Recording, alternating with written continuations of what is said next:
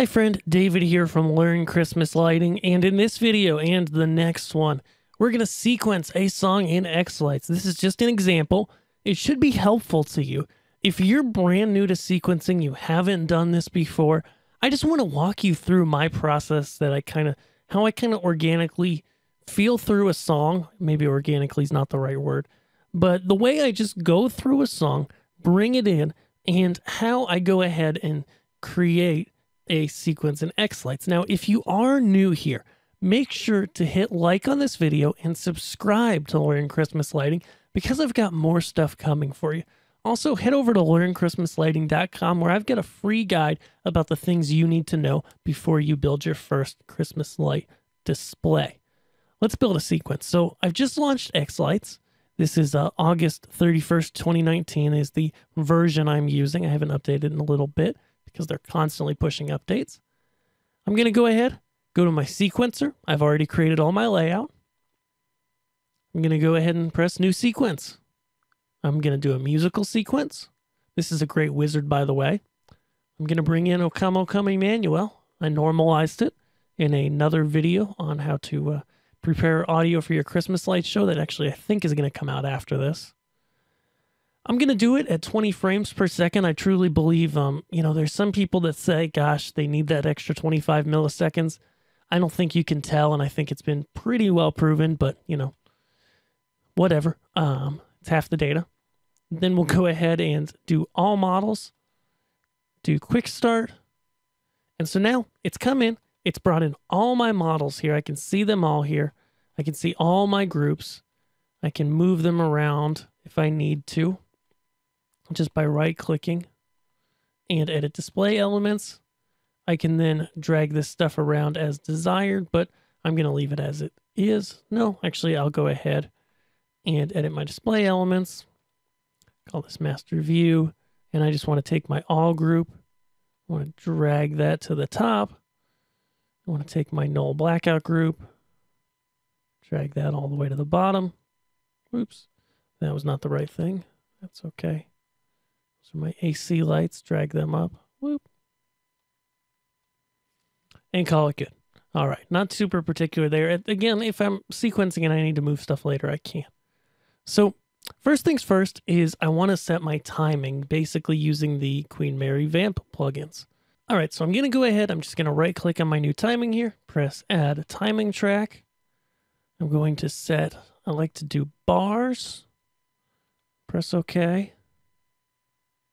beats per bar is 4, assuming that this song is in 4-4, which it's rock music, so I think it is. Again, I'm not really a musician, so I apologize for that. Then I'll add another new timing track, and I like to do beats. Again, same settings. Cool. Now I've got those two. I can now go ahead delete that new timing, which has nothing. And I can zoom in at this point.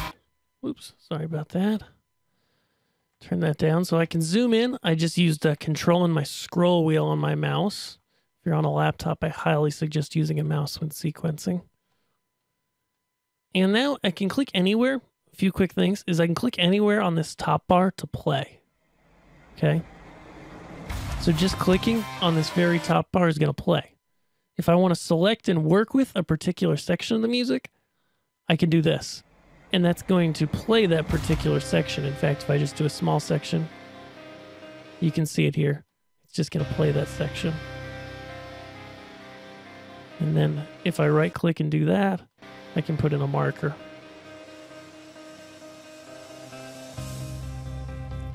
So those are the basics. And now let's get down to actual sequencing. Okay, you can obviously spend a lot of time doing sequencing, and some people even do this as their full time gig, and that's great.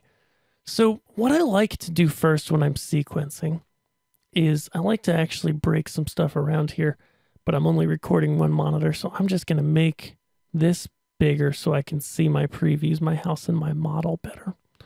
Awesome. And so I'm just going to hit play, and I'm going to listen to the first part of this track.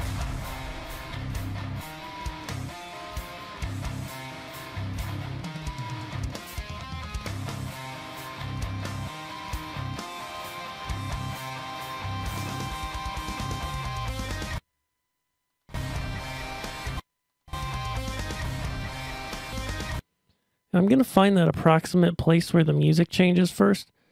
And what I like to map out first is I just like to map out my all group and just put something there.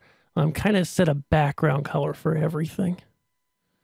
I'm literally just going to drag this first. It can seem overwhelming at first, especially if you know you have a lot of props and a lot of things you want to do. But I just encourage you to just get into it and just start dragging some stuff in.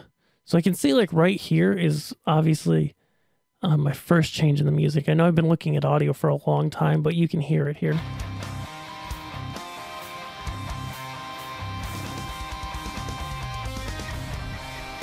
Yeah, so it was actually right right about here, just a little bit further.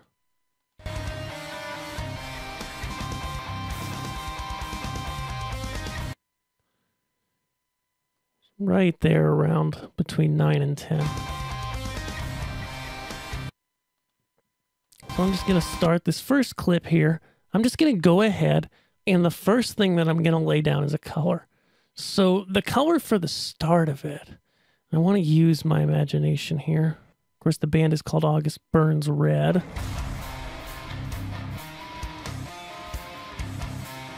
And red does seem fitting. Let's just go ahead and turn that red. I just turned off the color white here, so just red is selected in the color tab.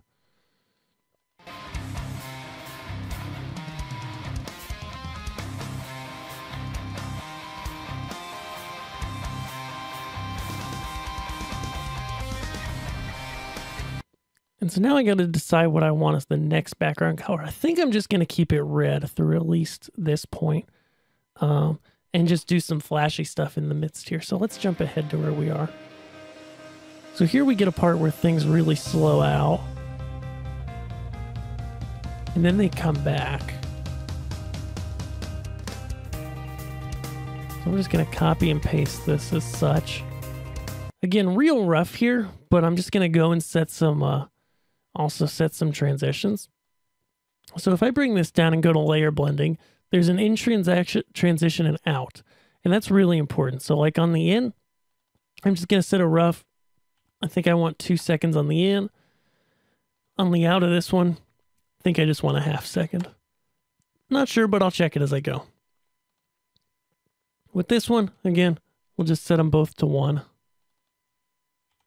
See, see if it's what we like. We can always tweak it later. You can see alongside of the timeline as well. This green, or at the end, I believe it's it's red or black. Um, if there's a red effect, it shows you where that transition is going to line up with the music. So I can see here, for example. I can see that fade in there and I can see how it's matched to that clip. So scrolling around, I'm going to hold shift and scroll to go side to side. I'm now just going to drag this red out at least all the way to this part of the clip. This is a metal song, so it's pretty easy to see what it's loud and what it's not.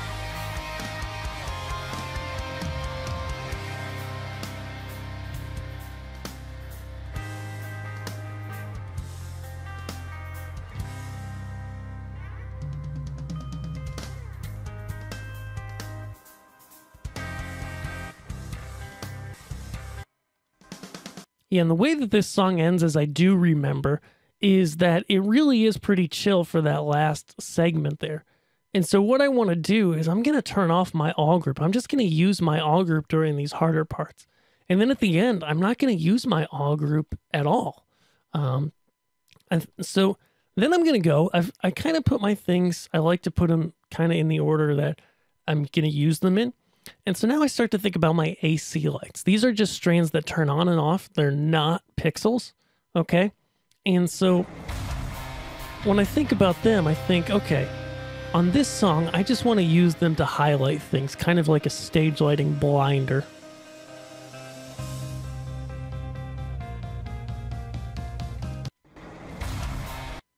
So like if I go back here,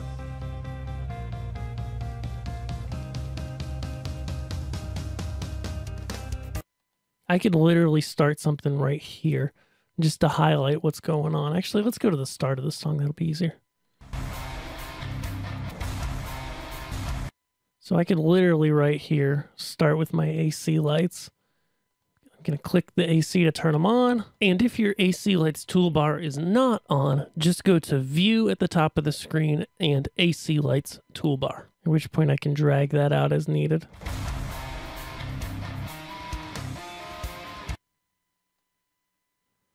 So it was kind of a get rid of boxes as I need to as well.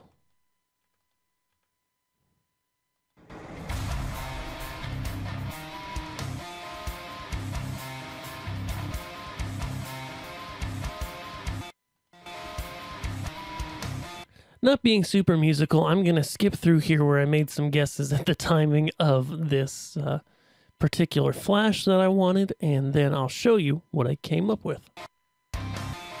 Yeah, we definitely want to do a four on, four off here. What was I thinking? This is music, David.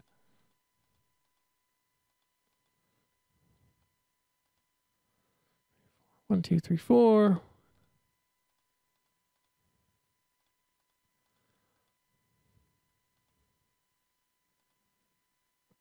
And then I go ahead. Let's go to my snowflakes, actually.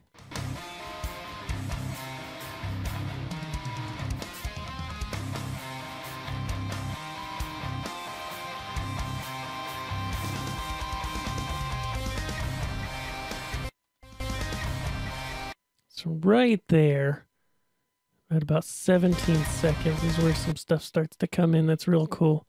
So I'm going to go down to my snowflakes now, turn off my AC. Let's go ahead. Let's start with a fan. So right at 17 seconds right there and measure 9. We're going to go ahead. Oh, actually, I want this to be on my snowflakes. So now I can visualize this in my model preview.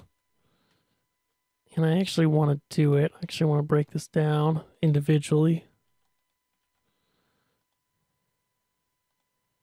to each snowflake. So now I just see one snowflake.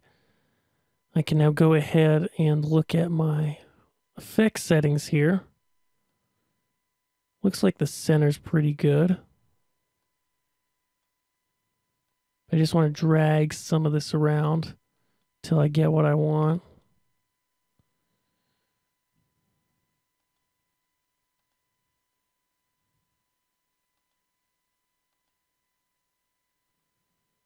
I think we're going to do a nice orange here. Do a red yellow maybe to create that orange.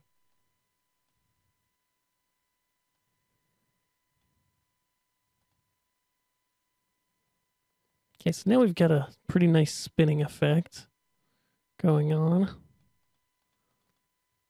So now let's just go ahead and figure it out.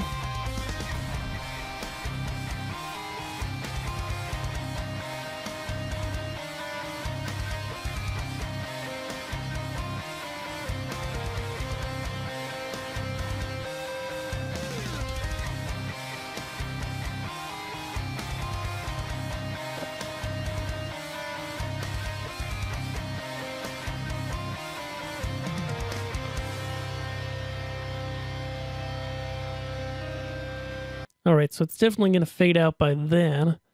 And so, now that we've got the basics going, we just got to make sure it looks right. So for example, I'm watching this right now. I'm clicking on it, I'm watching it. And I say, okay, that is way too slow for what I'm looking to do here. So I'm going to click the center of the effect.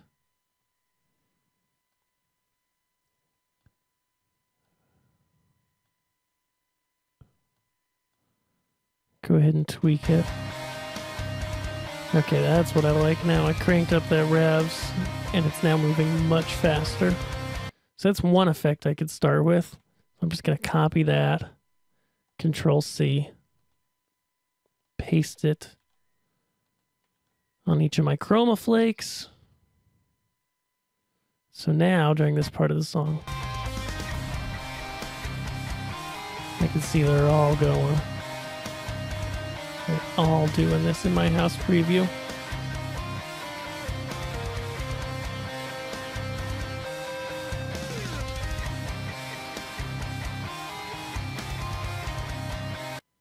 And so that is basically the start. I don't want to bore you here, but I do want to save it. Um, I don't want to bore you here. And so I'll save my sequence and I'm going to pause there now. I'll fast forward through parts of this. And then in part two, I'm going to go back and I'm going to sequence everything out because this is going to take some time.